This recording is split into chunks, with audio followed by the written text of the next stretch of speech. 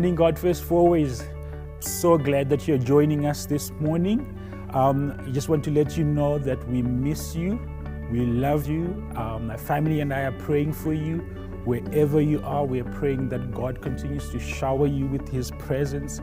We miss you, we love you, and we cannot wait to have you back in church with us. If you are visiting us for the first time, so glad that you, you're joining us. We are always praying that God sends us new people and I am glad that you have decided to join us virtually this morning. Please, I want to encourage you to visit our website at G1 Fourways um, and send us a note. Uh, we would love to get in touch with you, find out a bit more about what you need and how we can help. Um, so drop us a note at g1fourways.coza and we will be in touch with you during the week. Um, I pray that this will be a good time for worship. I pray that you, you will meet God this morning. I pray that you will enjoy service with us today. Water you turned into wine. Open the eyes of the blind. There's no one like you. None like you. Into the darkness you shine. Out of the ashes we rise. There's no one like you, none like you. Cause our God is greater, our God is stronger. God, you are higher than any other. Our God is healer, awesome in power, our God, our God.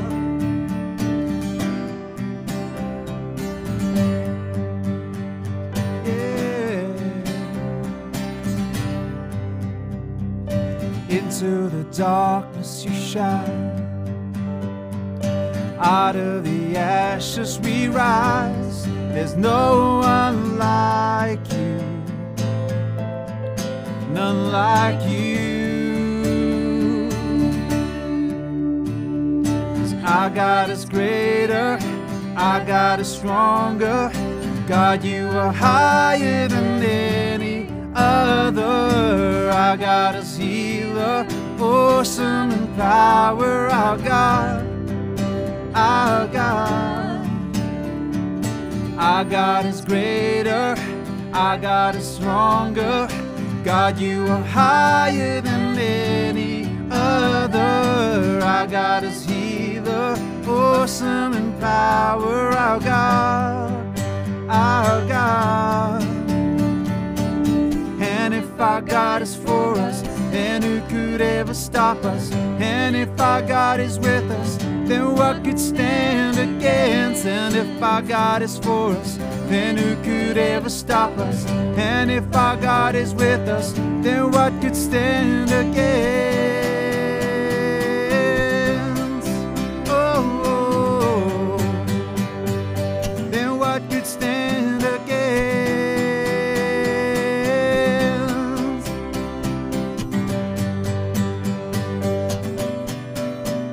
Cause our God is greater, our God is stronger.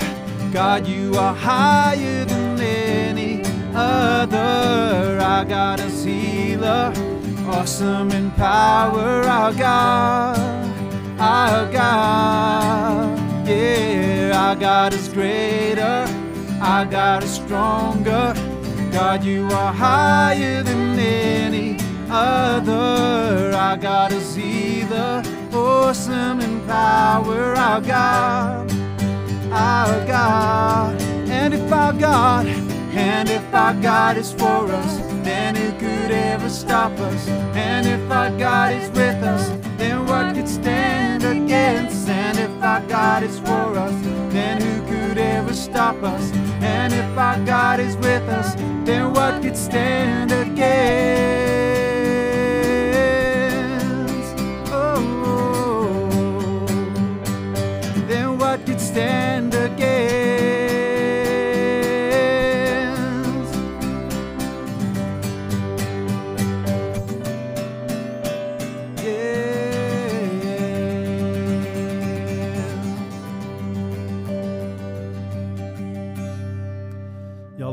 We want to thank you that you are the great King of Kings and the Lord of Lords, that there is nobody who is as strong as you.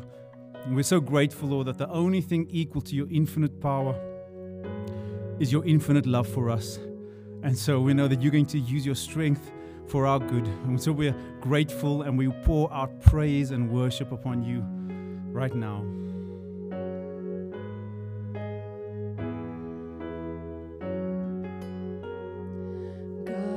Is able, He will never fail. He is Almighty God, greater than all we seek, greater than all we ask. He has done great things, lifted up. He defeated the grave, raised to life. Our God is able, and in His name we overcome. For the Lord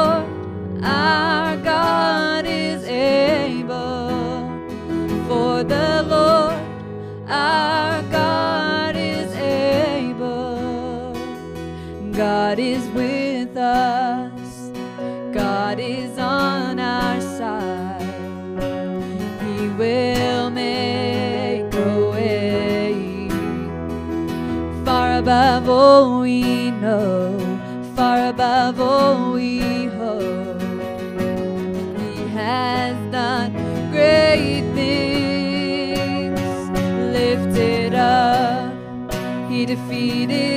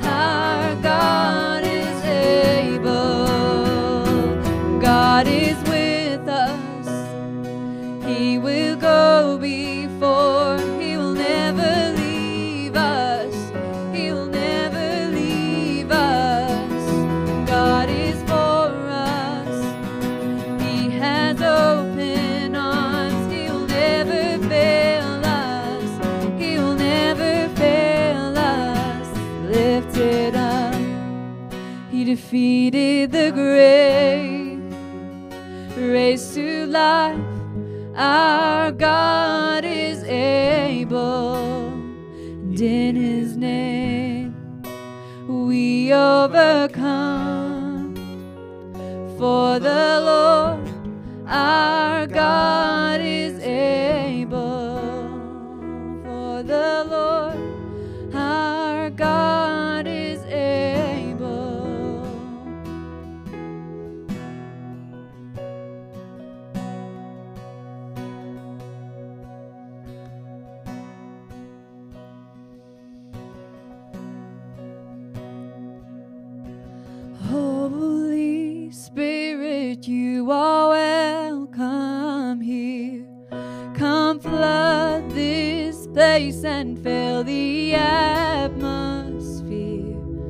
Your glory, God, is what our hearts long for.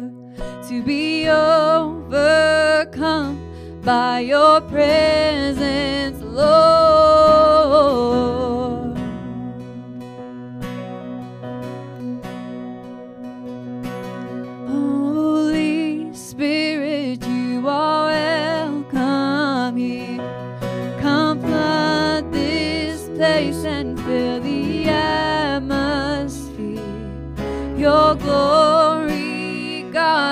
What our hearts long for.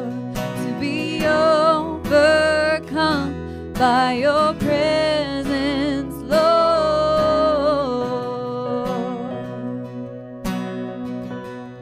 Your presence,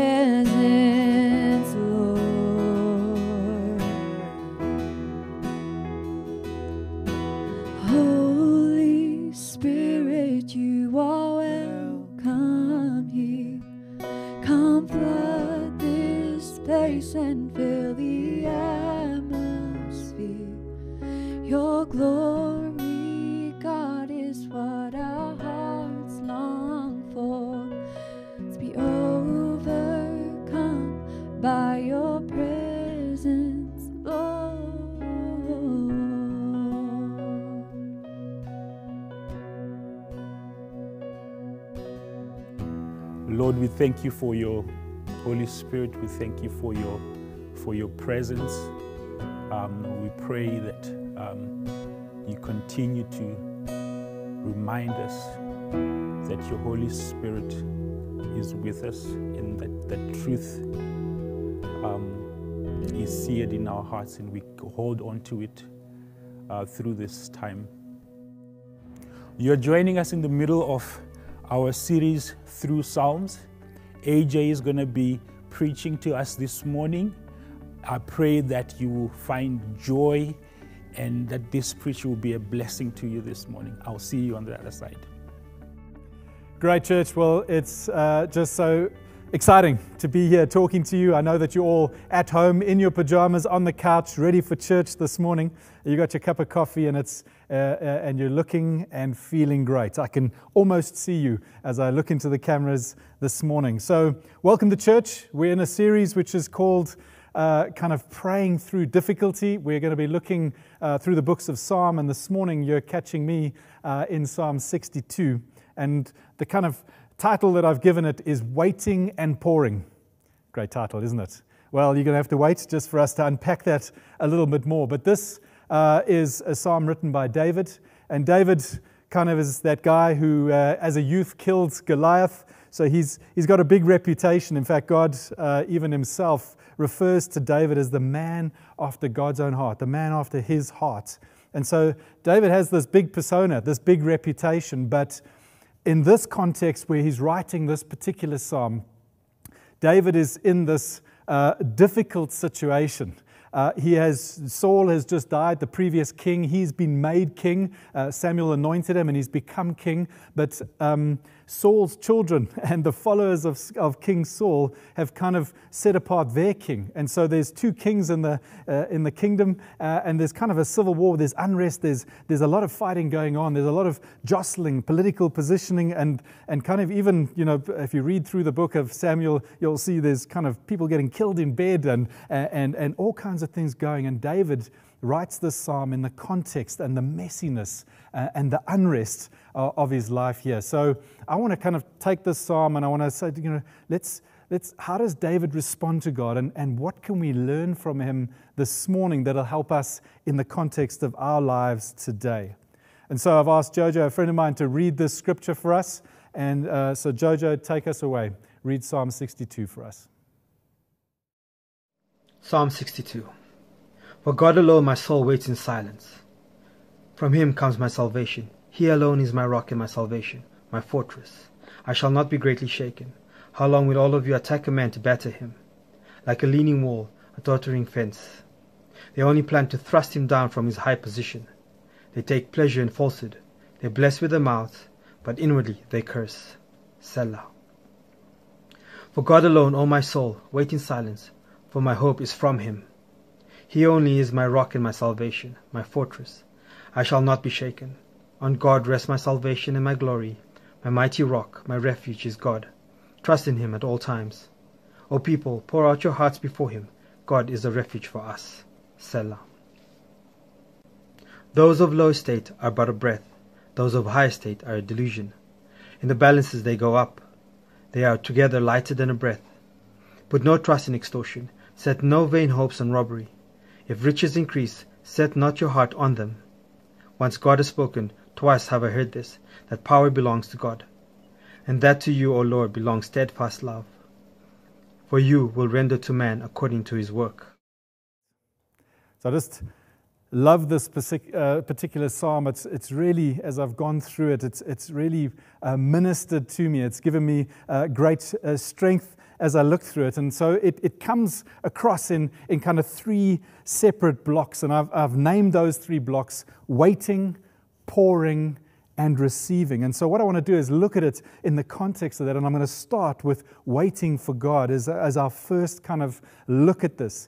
And David is, is under pressure, as I said earlier, and he's, he's dealing with unrest. He's, he's kind of um, dealing with uh, kind of the uncertainty, the pressure, different people, the jostling that's going on. And so, in that context, I guess we're not too different today. We're, we're living in lockdown. Uh, we are dealing with all kinds of pressures that we haven't dealt with maybe financial difficulties, job security, maybe losing a job, finding food, or just surviving the day to day. Our lives at the moment are upside down. I think we can relate to David uh, in the situation and circumstance that he was facing when he wrote that. And so, what can we learn this morning from David, and how can he help us uh, in our day to day living right now? And so, looking at the first four verses, this kind of idea of waiting on God, let's just read through these verses and, and let's see how God unpacks this and how David kind of speaks of the greatness of God. And so, verse 1, it says, For God alone my soul waits in silence from him comes my salvation. And I love the way that David is kind of just got self talk going on. So as he comes into this, immediately he's reminding himself of who God is. And he takes it on to the next level. And as he carries on in these Psalms, and he says, He alone is my rock and my salvation. You can just hear the, the, the, the, the excitement or the kind of reminding it as, as the energy of, of what he is saying kind of hits his heart and he reminds himself. It starts to lift him. You are my fortress, he says. I shall not be greatly shaken. So he's shaken just a little bit, you know, uh, not greatly, but just a little bit shaken in this. And as it goes on, some commentaries kind of refer to this next passage not as just um, David kind of reflecting on himself and feeling, woe is me, but he's, he's more uh, actually taunting those who are coming at after him, those who are uh, pushing in on him. And he says the following things How long will all of you attack a man to batter him, like a leaning wall, like a tottering fence. he says, uh, they only plan to thrust him down from his high position. They take pleasure in falsehood and um, they bless with their mouths but they curse, or inwardly they curse. And so David's taking these people and he's kind of identifying and saying, listen, really, in the context of who my God is, the greatness, the fortress, the rock of who he is, who are these people? They don't even, they're not even true to themselves. Outwardly, they're kind of saying blessings, but inwardly they're cursing. These are nothing. And so David's kind of taken this and he's, uh, he's, kind of um, wrestling with God in these things. But what he does, first and foremost, as he opens this passage, is that he lifts his gaze to who God is. And I love this uh, kind of opening line that he uses here. And for me, it's the showstopper of this particular psalm. And he says this For God alone, my soul waits in silence. Under pressure, and the places that we live, I think it's just unnatural to kind of wait in anything. This is Joburg, baby. We are fast, it's furious, it's the way we work. But he says he waits. But wait, that's not all he says. He says he waits in silence. Now, that's not something that kind of happens easily uh, in this day and age. I think when, uh, if we listen to uh, Nikki's preach from, from last week, when there are things uh, busying our minds, we tend to just want to throw other things at our minds. We want to be distracted. We would probably, when we're feeling under pressure, go to TV, uh, uh, find a TV show or series that we like to try and dial out. We would go for a run, put our earphones in, and, and just keep the, the noise coming uh, in, our, in our minds. Maybe we would go shopping. Maybe we would see a friend. And maybe even you are thinking of, listen, I'll even mow the lawn, just don't leave me alone with my thoughts. But the beauty of this is that David takes the bull firmly by the horns. He turns to face God alone. Nothing else. He turns to face God alone and he waits in silence for God. And I just think there's such a strong, powerful uh, kind of picture of how to engage when we're under pressure, where we need to turn when we're under pressure. When last in the craziness of your life have you taken a moment or t- to wait in silence for God? I know that in my life, this would take quite a lot of determination.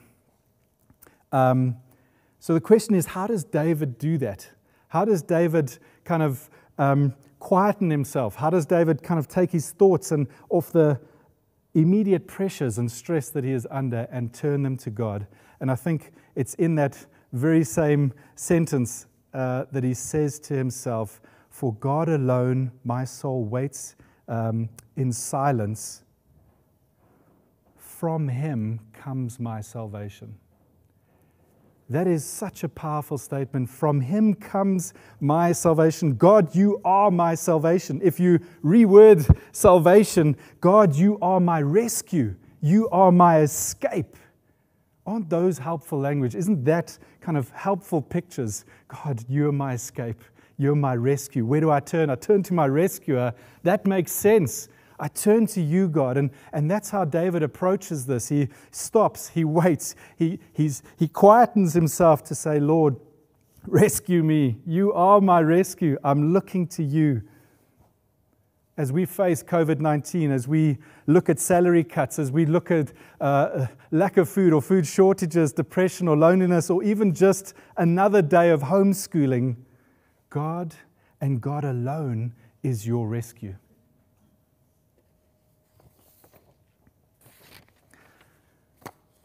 David's calling us out to wait in silence.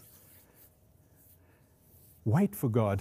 Don't tell him what to do, He's God. Wait for God, just wait. He is a living God, looking to engage with you, looking to, to hear your heart and hear what you have to say. Now, I know you're going to think, listen, AJ, that's all very nice and theoretical. In my own life, I've had to pause of recently just in the last kind of uh, it's five years, but in the last three years, work has become untenable. The, the, the pressure of moving from a family owned business to a New York listed entity, the cultural shifts uh, the economic downturns, and me as the sales manager leading the front end of this organization, trying to provide for 50 families that we support uh, and, and our customers' needs. Um, all of these shifts have weighed in on me, have just been a huge pressure to try find solutions, try be creative, try and help uh, develop these things. And as, I, as I'm failing to deliver what people are expecting from me, I've been hemmed in, hemmed in, and hemmed in to feel like I'm under pressure. And there's been a moment lately where I've just had to stop and say, God, I can't. I can't do this anymore. I'm, I'm failing everyone in this situation. I'm not able to deliver the things that we are promising. I'm not able to make these things happen. Lord, would you, would you rescue me? And it's a, it's a kind of like I'm taking my hands off. I need you now more than ever. And there's a moment where you just sit there, you have no words, you sit in silence and you wait. I don't have any quick fixes, but there's this moment of power when you acknowledge that God is your rescuer. So, David takes this powerful concept of self talk. Now, self talk is completely normal. I just want to say you're fine with that, you're all good. It's when you start answering yourselves. Then we have to talk a little bit more uh, just to express that, and there may be some professionals that can help us. But self talk is a good thing. And David uses it to such power in this time of pressure that he is under. He says, For God alone, my soul waits. It's my soul that waits in silence. From him comes my salvation. He's talking to himself. He alone is my rock, my salvation, my fortress. I shall not be greatly shaken, he says. And he, he takes these things and it almost fires him up as he talks. Now, this isn't the, the, the, the raw, raw emotional uh, building up. This is AJ, remember this is who God is. AJ, remember God is your rock, your fortress. This is bringing truth back into view. This is bringing the truth of who God is and, and what you know and understand, and you squeeze it in and you put it front and center of your life. You talk to yourself and you remind yourself. And as David does that, he, he feels the energy of God. He's reminded again of who God is. And that emboldens him to go after the people who are mocking him, that are looking to take his life and dethrone him from the kingdom. How long, he says, will you, uh, uh, sorry, will all of you attack a man to batter him? Uh, like a leaning wall, like a tottering fence. They only plan to thrust him down. Um, from his high position. You know, he's, he's, he's calling them out. Uh, and, and at the end of this, he's kind of, you know, you're blessed with your mouths, but inwardly you curse. And what he's saying is, listen, you guys have nothing. There's no substance to you. I am on the rock. This is who God's made. And you can see this as we go into the next part, uh, or, or, or, next kind of block of this particular psalm. David's uh, revving up and changing gear here, and he moves into the section which I've called pouring out to God. And listen to these next few verses as David starts to pour out, as he starts to take what we've already just learnt of self talk and he ups the game. He says, For God alone, O my soul, wait in silence, for my hope is from him. So he's still talking to himself here. He only is my rock. So he's kind of like, not only God is my rock, now God only. He's defining it for himself. He is only my rock. I'm looking nowhere else. He is my salvation, my rescuer. He is my fortress. And then he takes it up again because he says, Yeah, I will not be shaken. Remember just now, he was just saying, Listen, I won't be greatly shaken. I'll just be a little bit shaken. Now he's saying, Forget it. All bets are off. I'm not shaken anymore. He's taking this, uh, this thing on and he says, uh, On God rests my salvation and my glory. Do you hear the change in language? Uh, just the fact that uh, it's now moving to the fact that it's, he's looking for glory. It's, uh, he, he's not just looking at surviving, but he's looking at victory uh, as he speaks to these things. He's saying, My mighty rock, my refuge is God. David has defined it. David has said, God, here you come. It's front and center for me. This is who you are. And so then David kind of unlocks this psalm for me uh, as he talks about in verse 8 how do I engage God? And this, this psalm is, is, is where it all pivots because uh, up until now, he's talking to himself, he's reminding himself, he's, he's getting filled up. But in Psalm 8, something shifts, something breaks with him. It's no longer just about him, but he starts to speak out to others. And he says, Trust in him. At all times, oh people. So it's not about himself anymore, but oh people. He's speaking it out. He says, Pour out your hearts uh, before him. And he says, God is a refuge for us, the people.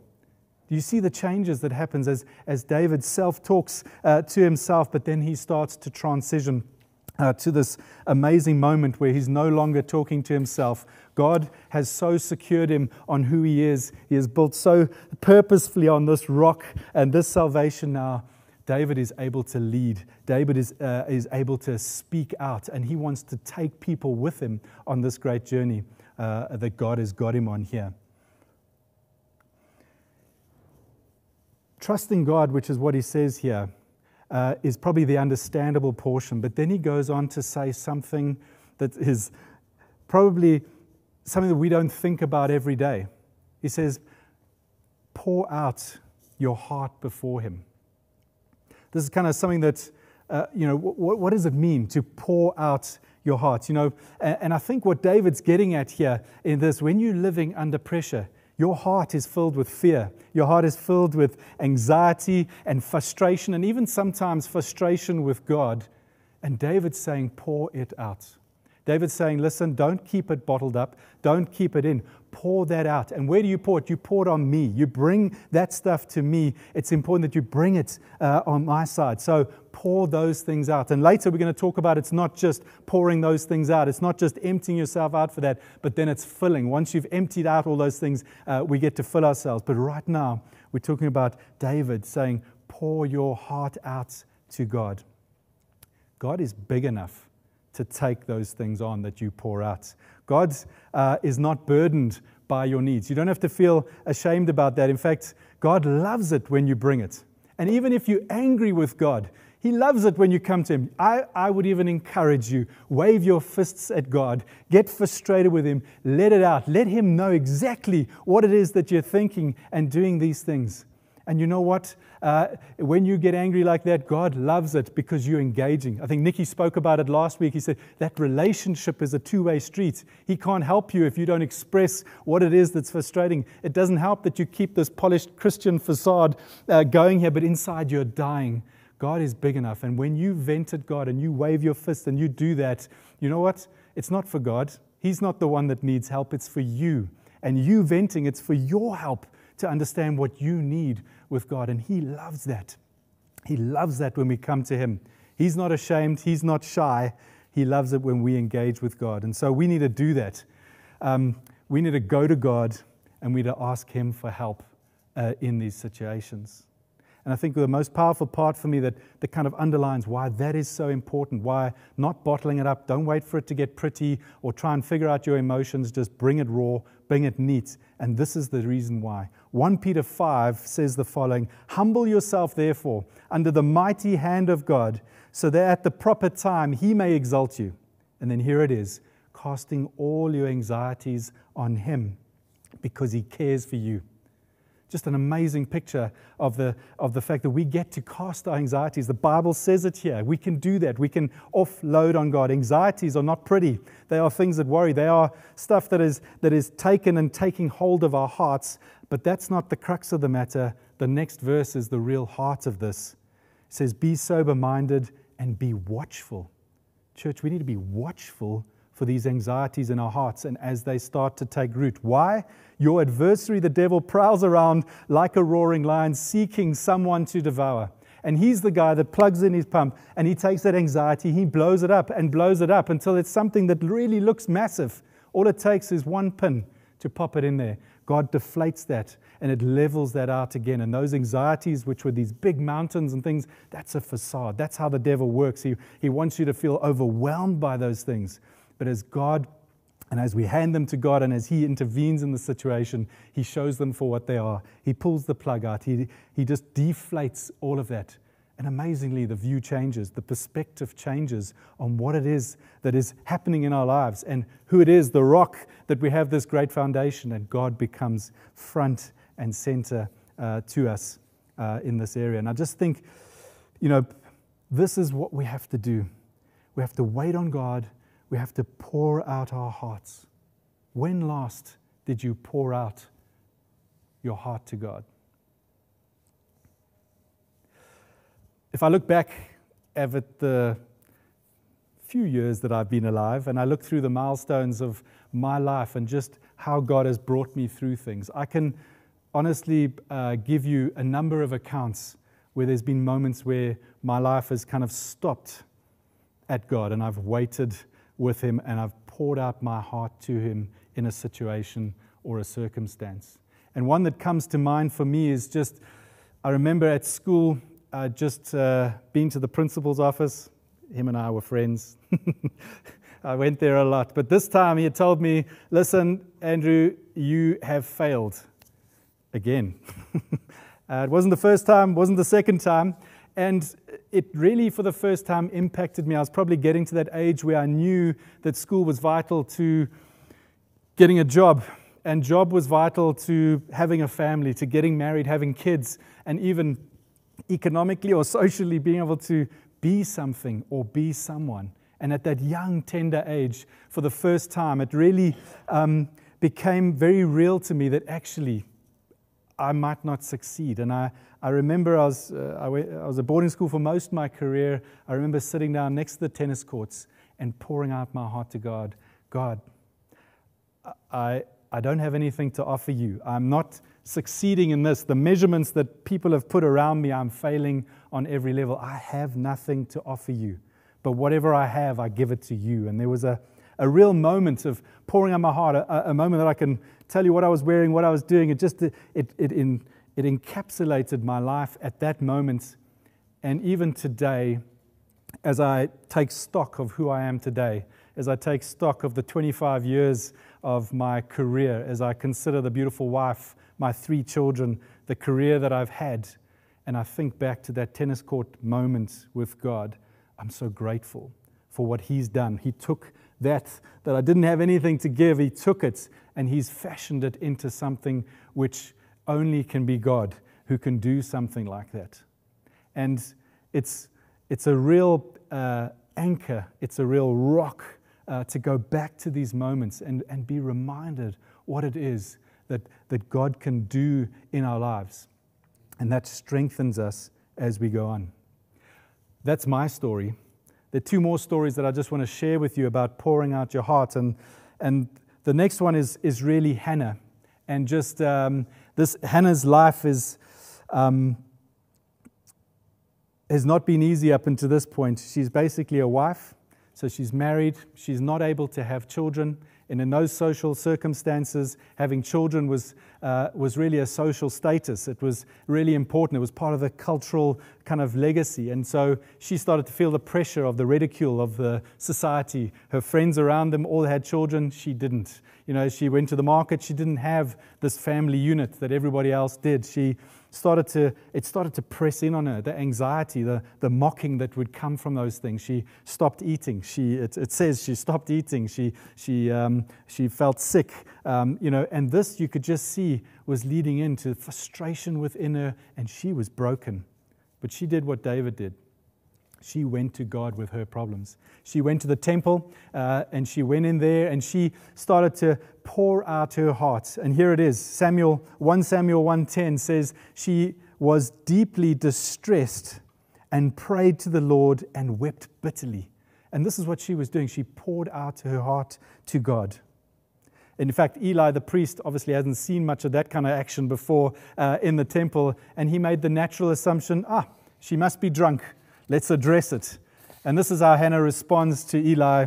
Um, he says, But, uh, but Hannah answered, No, my Lord, I'm a woman uh, troubled in spirit. Isn't that reassuring to hear? The people in the Bible were troubled in spirit. I have drunk neither wine nor strong drink, but I have been pouring out my soul before the Lord. Do not regard your servant as a worthless woman. You could see what her identity was at that moment worthless woman. For all along, I have been speaking out of a great anxiety and vexation. So it's just amazing how she starts to offload this anxiety to God. You see it in that. In that moment, Hannah poured out her whole life. Her life changed. The next verses just say that she left, that she went and ate, and that her face was no longer sad. Had her circumstances changed yet? No. But she was changed. The peace of God had come in. She knew that the problem wasn't hers anymore. She had put it in God's hands. Sure, later, the Bible always says this, and we, uh, we always chuckle when we read it, you know, in due time, whatever that means, she had a child. In fact, she had a number afterwards, but her firstborn, uh, she named Samuel. Two books in the Bible uh, were written about him. And I guess the, the trick question or a thought for us is if she hadn't poured out her heart, would we have had Samuel? What are the things that, if we pour our hearts out, that hearts out to God about, would God resurrect, would bring to us things that would, would mark history, if we want to go big, uh, in these kind of areas? So you kind of have this thing, AJ, listen, you poured out your heart, Hannah poured out your heart, you guys got what you wanted. Uh, you know, so if I pour out my heart, does God give me what I ask for? I want to read a, a second passage or tell you a second story. And this one's in the Garden of Gethsemane. So this is Jesus, and he's pouring his heart out to his Father, saying, Father, listen, if you could take this away from me, because he's about to go to the cross, if you can take this away, if there's any way, if please, if there's any way you could take this away, please do it. And let's read Luke 22 42. It says here, saying, Father, if you are willing, remove this cup from me. Nevertheless, not my will, but yours be done. And there appeared to him an angel from heaven, strengthening him. And being in agony, he prayed more earnestly, and sweat became like great drops of blood falling to the ground. Jesus poured out his heart to God. And God did not change his plan. But in that came one of the greatest gifts that we could ever have imagined. So, David in the psalm is kind of talking about uh, waiting and pouring, but he doesn't want to just stop at waiting and pouring. He wants to uh, ask us to move on to the third step, which is kind of receiving from God. So, as you've poured out your life, as you've poured out all these anxieties and things, you're now open to receive from God. You, the, the, there's space, the anxieties have moved away, and there's space to receive from God. And the way that David positions it in this psalm, I just think is, is so powerful because he goes right after our motives. And if I look at the motives that he highlights, there could have been many, but he highlights these few. I think as Joburgers today, this speaks to us. Maybe as I read it, see if it means anything or stands out for you as a Joburger. Those of low estate are but a breath, those of a high estate are a delusion. In the balance, they go up. And in those days, everything was uh, value was measured in a scale. You put weights on this side, and basically, if they measured up in this, in this uh, psalm, David's saying, as I put the weights on, poof, this actually has no weight at all, no value at all. In fact, he goes on to say that. They are brought together, they are lighter than breath. And what he's talking about in low estate and high estate, he's talking about the poor. So whether you are poor or high estate, whether you are rich, wealthy, or successful, they have nothing. On the balances of God's scale, they have nothing. They're like a breath, they weigh nothing to us. And so David is just highlighting again this social standing within God doesn't have any weight, no value. And he goes on to say, Put no trust in extortion, set no vain hopes on robbery. If riches increase, woohoo, set not your heart on them. And I think as Joburgers and as in the fast pace that we're living, this motivation that David goes for goes straight to the heart of who we are straight to the heart.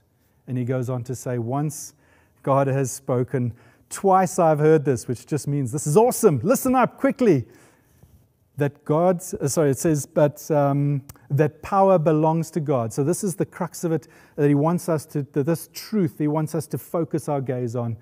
That power belongs to God, and that to you, O Lord, belongs steadfast love. And David's asking us to shift our motivation. As we've poured ourselves up, He wants us to fill up uh, on these two truths. All power belongs to God. That's where you get your strength from. And he wants to say, God is steadfast in love. That's where we get our confidence from. We look at these uh, mighty rock, the rock of who God is, the salvation that is we giving. We find our strength and we find our confidence in that. Nothing else. Success, riches, poor, whatever that is, those weigh nothing in this. Our strength comes from God. And then the last line of this particular psalm, um, David kind of puts his parting words in, and they are sobering uh, in the context of this. And he says, For you, talking about God, for you will render to a man according to his works. And we've just spoken about where the motivation of our hearts are, but he says to a man, You will. Uh, um, render a man to his works. And, and just this, this topic of works, this is a real um, kind of sobering thought for us. Because outside of God, our, our works are worthless. Our works are weigh nothing in the scale. God's the one, and the works we do for God are what bring the value into these things. And it reminds me of, of Romans 6.23, where it just talks about the wages of sin is death. And, and wages are something that you've earned. So if your boss, you work for your boss, uh, you're entitled to the wages for working those hours. And, and just like us, if we've done sin, the wages, uh, the, the, the value or, or what we've earned um, is death. So for sins, that's death. And I'm so grateful this, that verse doesn't stop there, but it goes on to say, but the gift of God is eternal life in Christ Jesus. And the power of this this morning uh, is the fact that eternal life, if we say it's this card, uh, is the gift, this free gift, but it's in Christ Jesus. So if we say this is the gift and we want to wrap it in Christ Jesus, we say, here we go, here's eternal life. It's wrapped in Christ Jesus. If you want to receive this gift of eternal life, you have to take Jesus, you have to receive Jesus. And so if this is a free gift that I want to give to you, when does this gift become yours? It's a great question. This gift becomes yours when you receive it. And that's exactly what God is offering us. This is the promise that God has given to all of us that He has given us this gift of eternal life, but it's in Christ Jesus. There's a gift that He wants to give us. And so, with this kind of gift that he has it even goes on one step further in revelations 3.20 it just says that i stand at the door and knock if anyone hears my voice and opens the door, I will come in and eat with him and he with me. And God wants to, has this promise of relationship uh, with him, as Nikki spoke about last week. Just this relationship and this openness, honesty. And as we talk about waiting, pouring, and receiving from him, there's this activity that comes from a living God. If you want to receive this living God into your life to help you build on value and on rock, and you want Him to be your escape and your rescue and your salvation, then pray this prayer with me right now, wherever you are. Say this Lord, I've sinned and I've earned death. Jesus, I want to invite you uh, into my heart and to make you Lord of my life. Jesus, thank you for dying on the cross in my place for my sins. Please forgive me for my sins. Come and live in my heart. Amen. If you prayed that prayer for the first time, I'd love you to make contact with us on our website. Just uh, look us up, drop us a note. We've got some uh, literature we'd love to give you, uh, and we'd love to kind of walk a journey with you. If you're just still considering that question and, and, and now you're thinking, drop us a note as well. We'd love to walk a journey with you and unpack some of these things uh, with you as we look at who Christ is. And I want to finish up right here at Romans 5, uh, where it's this, this encouragement to us about what happens when we see challenges and how we push through. And it says this in the Message Bible There is more to come. We continue to shout our praise even when we're hemmed in uh, with troubles. But we know how troubles can develop passionate, ooh, per, uh, passionate patience in us. Don't you just like that? Passionate patience in us. And how this patience in return forges tempered steel of virtue in us, keeping us, and I love this, uh, keeping us alert for whatever God is going to do next. And in this alert expectation, such as this, we're never left feeling shortchanged. Never, guys. Quite the contrary.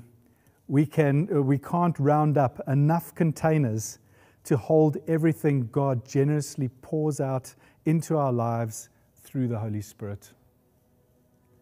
Waiting on God, pouring ourselves out, and receiving from Him.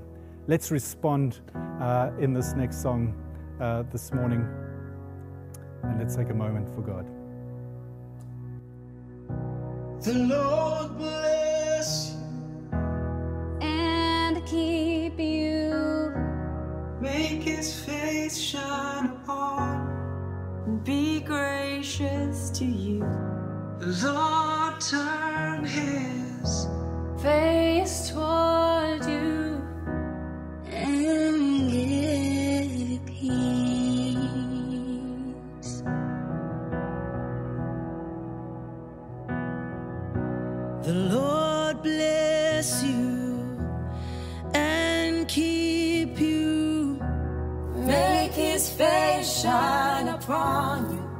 Be gracious to you.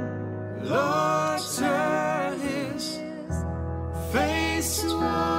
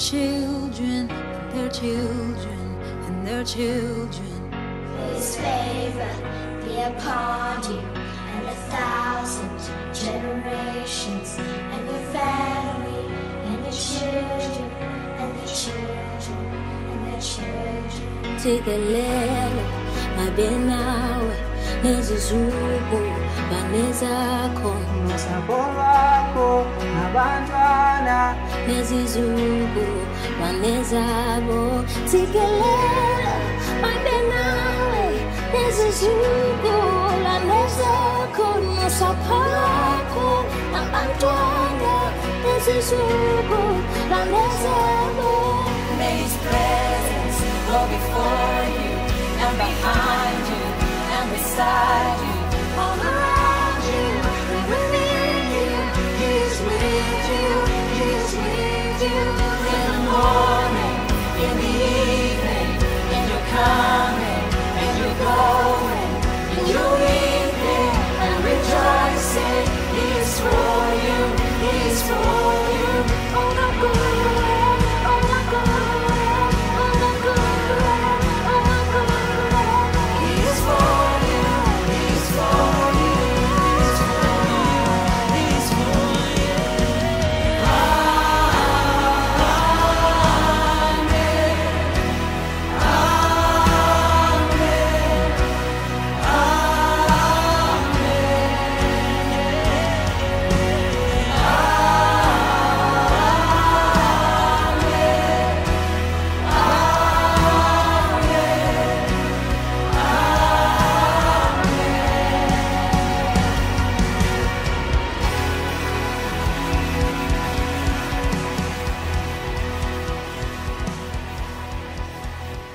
Thank you for that preach, AJ. That was so encouraging. There is no better place to end than with all power belongs to God and He loves us. I hope that you, found, you find strength in that. I pray that that truth becomes a part of who you are throughout this period. Thank you once again for joining us. Please feel free to visit. I want to encourage you, in fact, I want to encourage you to visit g14ways.co.za. We would love to pray with you. If you need prayer, if you need encouragement, we are there for you and would love to pray for you. Please visit us at G14ways, drop us a note, and we'll be in touch with you this week.